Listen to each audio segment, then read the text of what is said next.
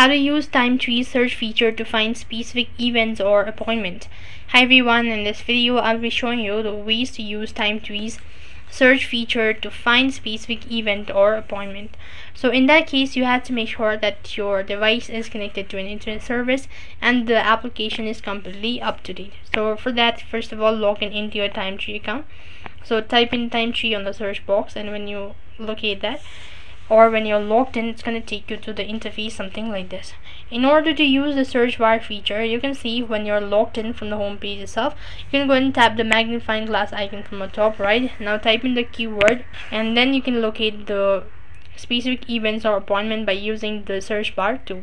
So then you can just tap the displayed search result in the calendar just like that. And here you can access the event or appointment. So that's how you can use TimeTree search feature to find specific events or appointment. So that's it for this video. I hope the video was helpful. Make sure like share and subscribe to our channel. Thank you for watching. See you in the next video